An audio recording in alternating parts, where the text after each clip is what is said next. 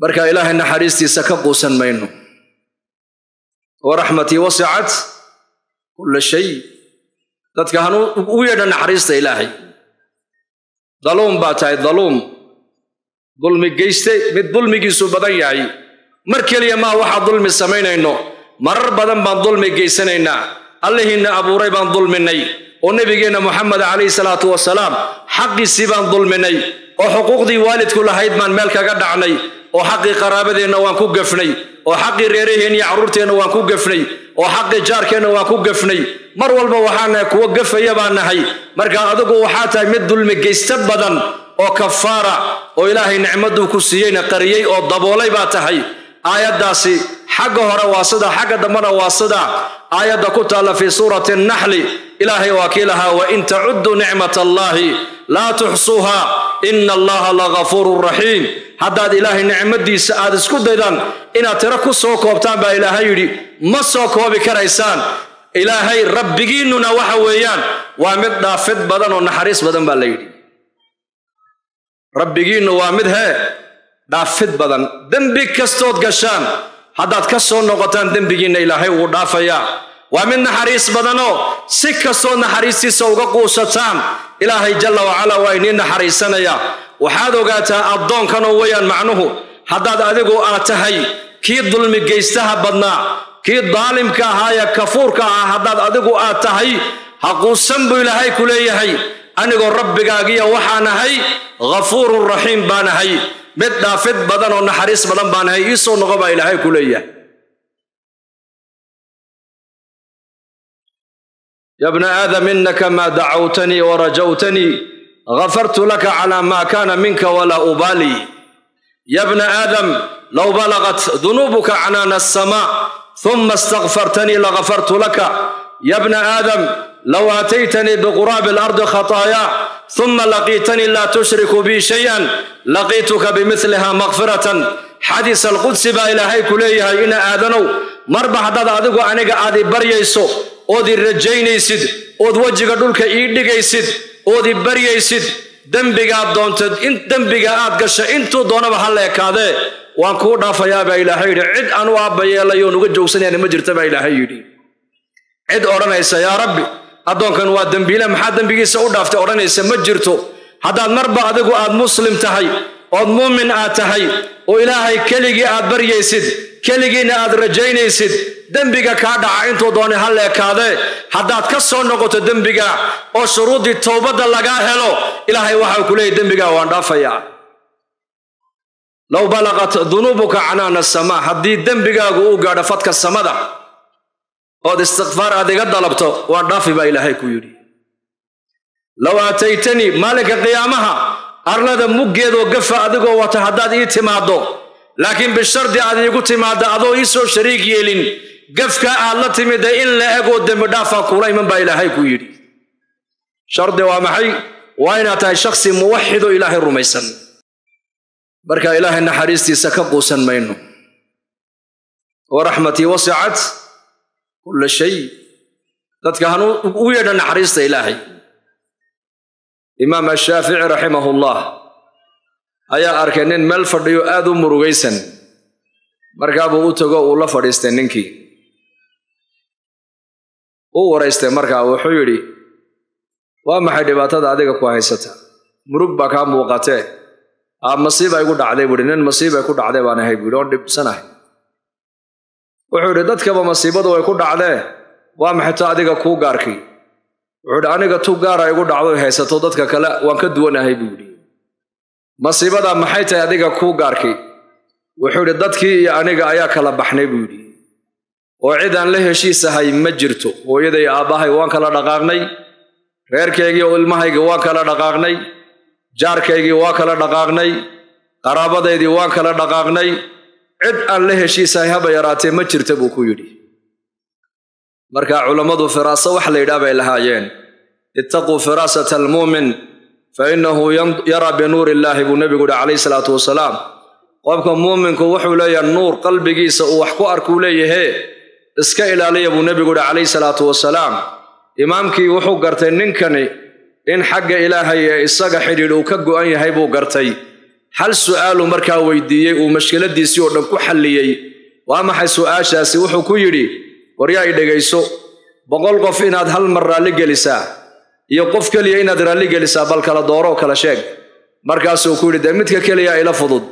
Waxaa markaa baa lagu yidhi weliba midka keliya hadduu adiga raalli kaa noqdo ood isaga raalli gelisid boqolka kale isagaa kaa raalli gelin baa lagu yidhi. Markaasuu yidhi midkaasi waa midkee buu yidho markaasuu yidhi waa allah weeyaan. Markaasuu ninkii wuxuu yidhi sheekh wallaahi meesha leega haystaad ii sheegtay buu ku yidhi. Nolosha aan fahmi lahaa iyo cidhiidhiga aan dareemayey iyo muqaatacada dadku ay igooyeen oo dhan waxa u sababa waad ii tilmaamtee aniga iyo rabbigay xidhiidhkii naga dhexeeya baa meesha jirin buu yidhi. Jazaaka allaha khayr bulo marka halkiibuu ninkii ku toobad keenay haddaan doonayna inaan ka baxno dulliga iyo ciriiriga iyo dawarsiga waad ogtihiin dadkeennu dawarsi bay ku jiraan. Maanta soomaali haddaan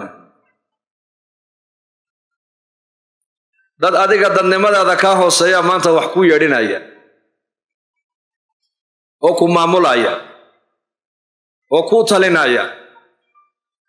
Waana min calaamaati saaca nabigeennaa sheegay sala allahu calayh wasalam ida tukhida alfayu duwala waalamaanatu maqnama waalzakaatu maqrama watucullima ligayri ddiin waataaca arajulu imra'atahu wacaqa ummahu waaqsa abaahu waadnaa sadiiqahu wakana zaciimu alqowmi ardalhum wasaada alqabiilata faasiquhum ila aakhir alxadiis shan iyo toban khasladood buu nebigu xadiiska uu ku sheegay uu yidhi ummaddaydu shan iyo tobankaa calaama markaad ka aragtaan balaayadaa ummaddayda ku dhacday ogaada buu nebigu yihi calayhi salaatu wasalaam in yar baan ka taaban inkastoo wakhtigu nagu kooban yahay waxauu nebigu yidhi duwal waxaa la yidhaahdaa waa hantida guud ee ummaddu ay leedahay dad gaara markay danahooga u isticmaalaan.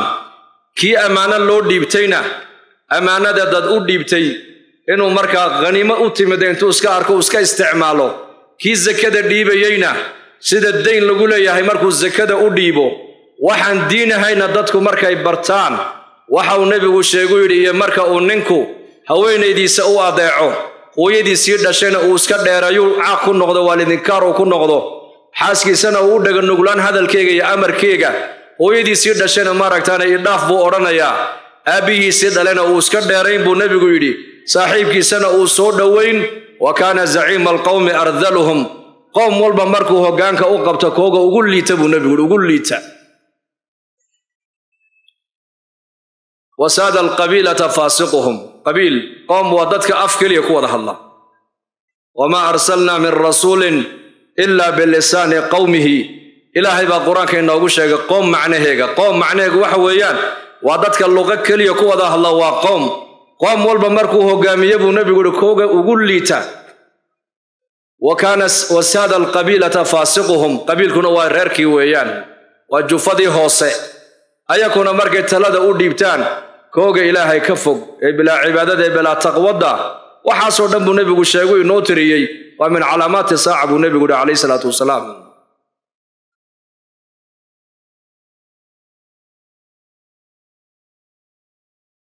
ummad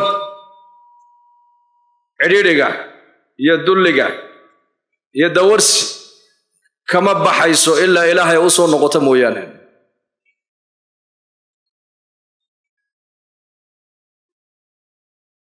Camalkeennaan badilaynaa nolosheenna ilahay isagaa badili markaas waa cuquubo caaba muslimiinta o dhan haysata maanta. Cuquubo caama weeyaan.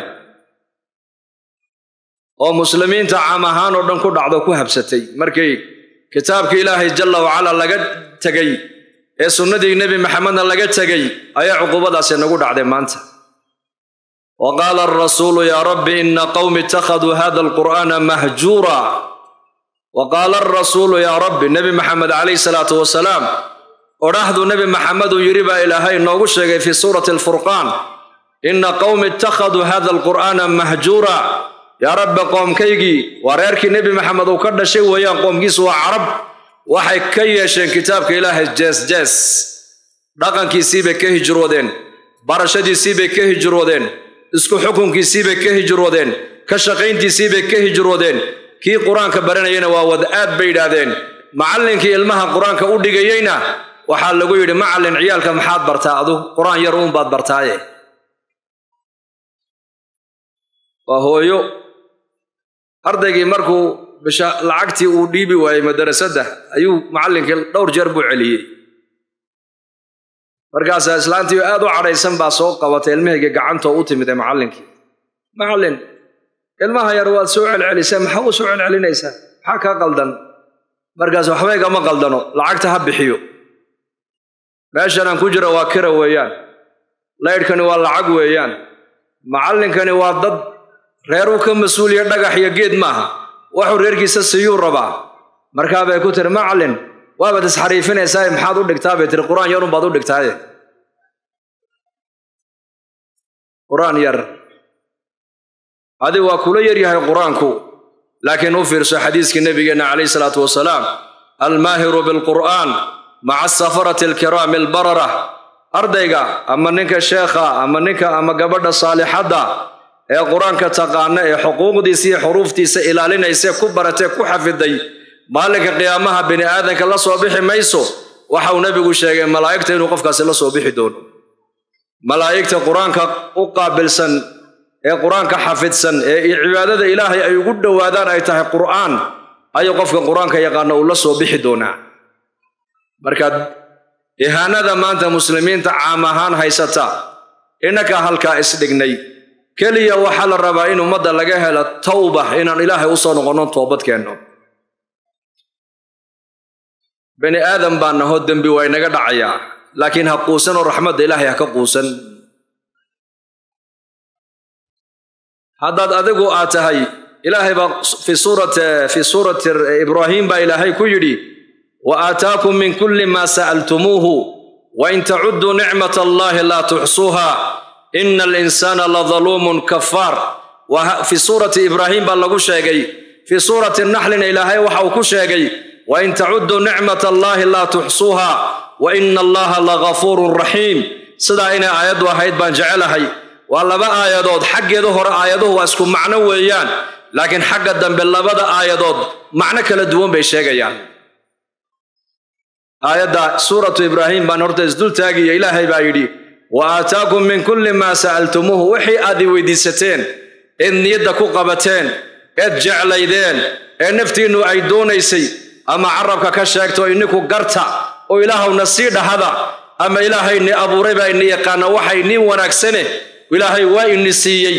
Wain tacudduu nicmat allaahi laa tuxsuuha haddaad isku daydaan ilaahay nicmaddiisa tiro inaad ku soo koobtaanna ma koobi karaysaan baa ilaahay yidhi ina alinsaana la daluumun kafaar insaanku waa mid dulmi geysta badan.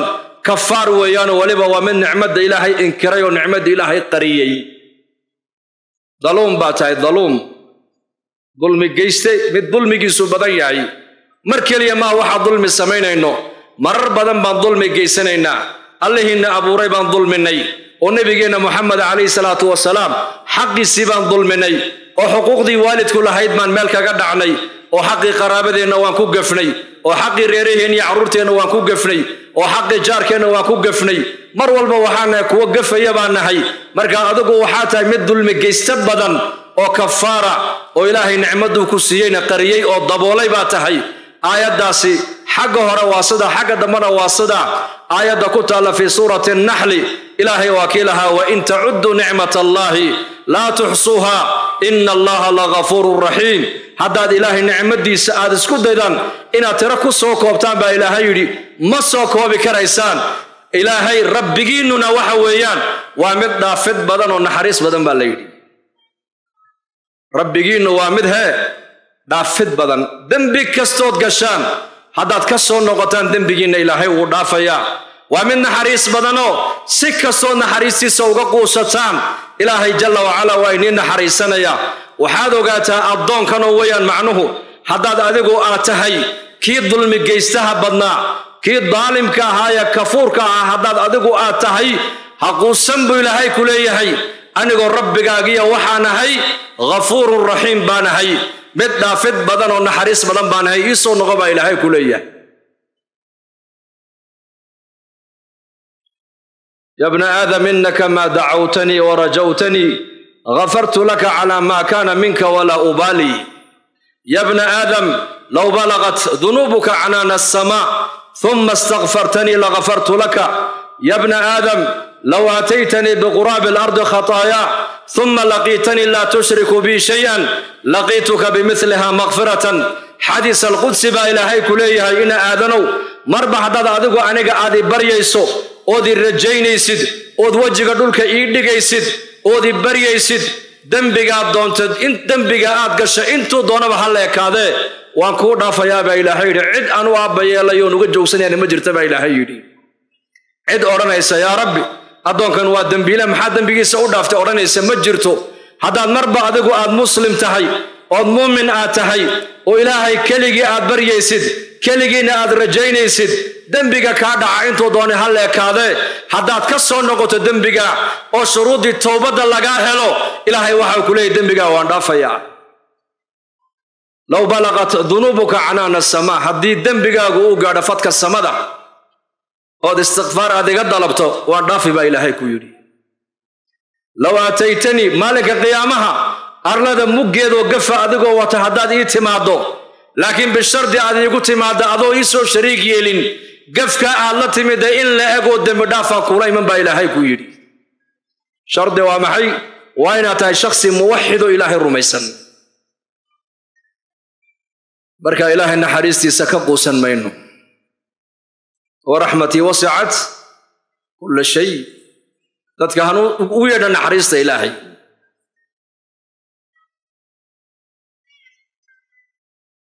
Xadiis ku yaalla saxiixaynka. Nebigeennu calayhi salaatu wasalaam waxau noo soo qabanayaa ummadihii naga horreeyey gefka ay galeen. Ilaahay naxariistiisa wuscadeeda isagoo nebigu inoo tilmaamaya ayuu nebigu inoogu sheegay ninkii reer bani israa'iil ahaayee boqolka naf gooyey. Ee weydiiye dadka ku yidhi war caalim nin caalima ii tilmaama markaasaa nin caalima markii dambe loo tilmaamay. Ninkii caalimka ayuu u yimid oo wuxuu ku yidhi taa'ib baan ahay boqol nafna waan qabaa dhiiggoodiiye. Toobad miyaan leehay haa toobad waad leedahay buu ku yidhi. Toobad waad leedahay. Laakiin shuruud buu ku xidho waxa uu ku yidhi shuruuddaasi waa sharcun liman qablanaa bay culammadu yidhaahdeen. Waxaa shuruudda ka mida toobaddaada in lagaa aqbalo. Meeshanaad joogto waa meel dad xun baa ku nool oo dagaal badan oo dhib badan oo dad dhiigga daadiya ku badan ayaa ku noole. Ka dhexbax buu idhi dadkan iyo dalkan ka guur. Xaggeed u guuraysaa dhulkaas dad wanaagsan baa ku noole dadka ilaahay la soo caabud buu ku yidhi. Meel dad wanaagsan ku nool yihiin tag uu irtixaalay markaa ninkii. Safarkiibuu gudagalay. Isagoo weli meeshii u socdo u hijroonaya aanan gaadhin ayay geeridiisii timiday naftii markay ka dhacdee malaa'ikatulcadaab iyo malaa'ikaturaxma isku qabatay. Malaa'ikaturaxma waxay leeyihiin addoonkan uu toobad keenayo ruuxdiisa annakaa qabanayno qaadayna bay leeyihiin. Malaa'ikatulcadaabna waxay leeyihiin may addoonkani boqol naf buu qabaa waa dhagar qabe weeyaan. Cadaab baa loo qaadayaaya keena. Markaasaa ilaahay soo diray malag suurad aadamiya loo soo yeeloo lagu yidhi arlada dembiga uu ku galay iyo arladuu rabay inuu u hijroodo. Mitiri baa lagu yidhi u mitiri taw xaggeega u bata dadkayga ku dara baa lagu yidhi markaasaa ilaahay tabaaraka wa tacaala waa casiiz waa kariim waa raxiim waa raxmaan. Fii bacdi arawaayaat waxauu nebigu sheegay dhulkuu u socday baa ilaahay u waxyooduu ku yidhi addoonkaygaa naar inuu iga gala ma jecliyo u dhowow baa ilahay kuhi u dhowow. Intaa in laag bay dheeraatay buu nebigu yihi shibr. Deedna malaa'igtii naxariista la wareegto sidaasuu addoonkii naxariista ilaahay ku mutaystay. Xadiiskaas waxa uu nebigu inoogu sheegay calayhi salaatu wasalaam waa maxay? Ha quusan weeyaan naxariista ilaahay ha ka quusan. Soo noqo. In taabuu ilaya fa ana xabiibuhum uxibu altawaabiina wa uxibu almutatahhiriin wain lam yatuubuu ilaya fa ana tabiibuhum.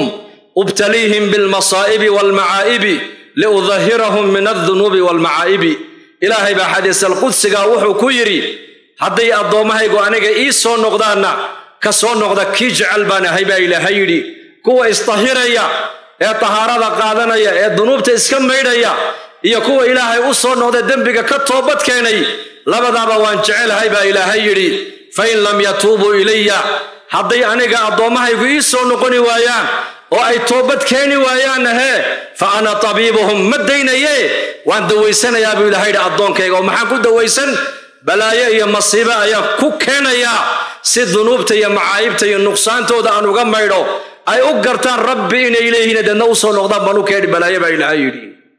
Dalka innagu aan ka soo jeedno haddaan soomaali nahay waxaad ogaad ogtihiin shantii sannaba masiibo magac kala huwan baa soo maraysa.